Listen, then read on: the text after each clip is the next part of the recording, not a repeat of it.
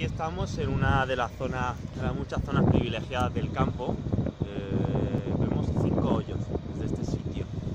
Y podríamos poner una silla y, venderla a precio de oro durante la Ryder Cup. Es que es una pasada. Aquí tenemos el hoyo de abajo, es el hoyo 3. Eh, hace dos semanas hemos remoldeado dos lagos. Eh, hemos remoldeado dos lagos porque la verdad es que no se veía nada el agua, el obstáculo de agua. Eh, era una zona húmeda, pero no, no, no estaba delimitada. No. Y, bueno, la verdad es que eh, siempre ha sido así y, y durante el Open de Francia muy bien, pero queríamos hacer, pues eso, buscando la excelencia, queremos hacerlo, queremos hacerlo mejor.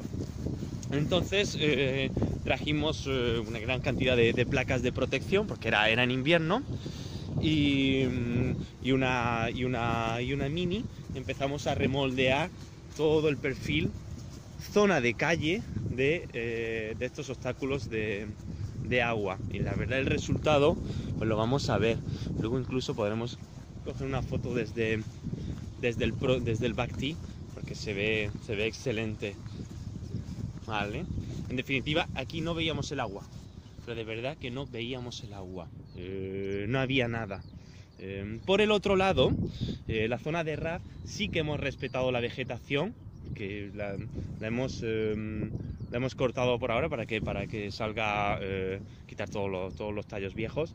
Eh, sí que hemos respetado la vegetación justamente para eh, respetar el hábitat de aves y, anfibios, pero por este lado vamos a tener un, queremos tener una, ¿cómo decir? Un hardline, un- una, una línea limpia entre, entre el RAF y el, y el obstáculo de agua.